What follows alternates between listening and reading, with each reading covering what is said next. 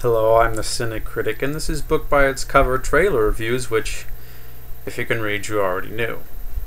Today I'm going to review the trailer for the Amazing Spider Man movie, the reboot of the popular, until the third one, Spider Man trilogy. So, I mean, you know, the best way to review it is to watch the trailer. So here you go.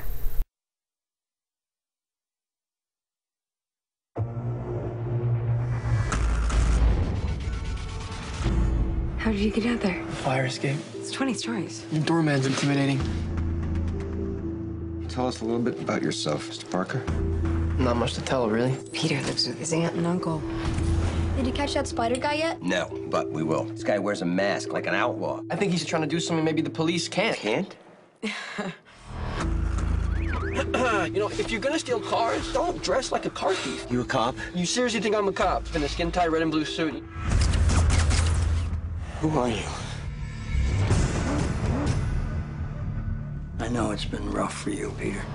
I forgot all about that thing. It was your dad's. Your father was a very secretive man, Peter. Dr. Connors. I'm Richard Parker's son. Your father and I were going to change the lives of millions, including mine. Extraordinary. How did you come up with this? There's a rumor of a new species in New York. It can be aggressive if threatened.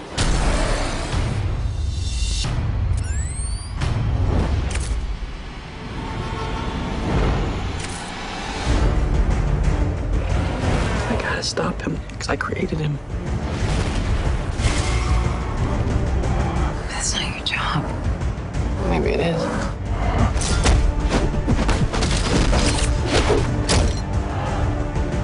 Thirty-eight of New York's finest versus one guy in a unitard.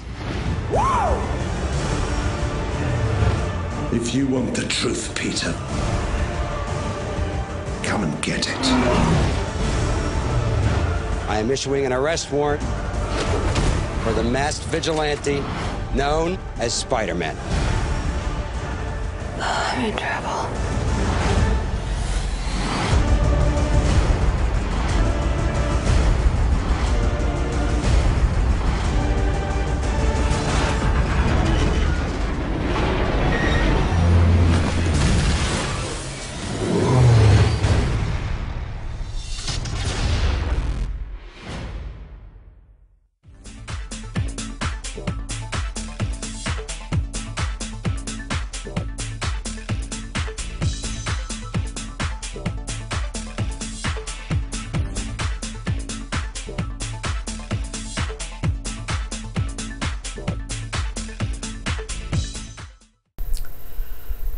I have some significant problems with this trailer, which, if you know me, you might have guessed.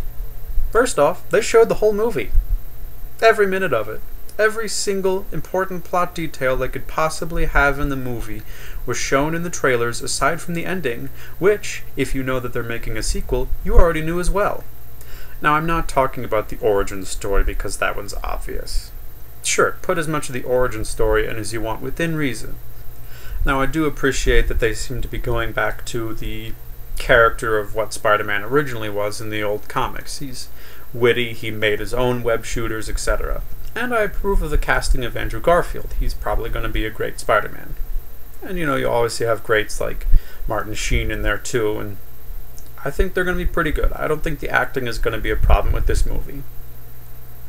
Screenplay, I think the screenplay is going to have some problems, but that's just me. But overall, I just can't get past the fact that they showed every single moment of the film in the trailer, and that shows to me that they think the movie is going to be weak, so they shove as much of the action in as possible in the hopes that we'll go see it. Well, guys, we're already going to go see it. There have been a string of superhero movies that have come out, and they've both been, for the most part, critical and box office gold. So by the mere fact that you're making a Spider-Man movie, we're going to go see it. But I'm not. You're not getting my money for this. No, you're not. Why? Because why would I pay 20 bucks to watch something that I've already seen? Why would I pay to watch something that if I just combine the two trailers and the fact that I know Spider Man is going to be alive at the end, I just take that and I already know what's going to happen. Every single important plot detail. And I'm also pretty sure they're not going to stray too far away from the plot points of the original. Spider Man fights a villain. Villain seems to defeat Spider Man. All hope seems lost. Spider Man wins. That's what this one's going to do. Don't don't try to tell me that it won't. Once again, I challenge the filmmakers to prove me wrong. I'm quite open to the idea. But I think it's going to be a mediocre movie at best. So, my estimated tomato meter rating 79%. I don't think it's a strong enough movie to go past that point, and I don't think the filmmakers think so either. I, again, prove me wrong. Get that 94% on the tomato meter rating that you're clearly hoping for. Go ahead. You're going to make a bajillion amount of dollars doing it anyway. 10 of those dollars aren't going to be mine. So, until next time, see ya.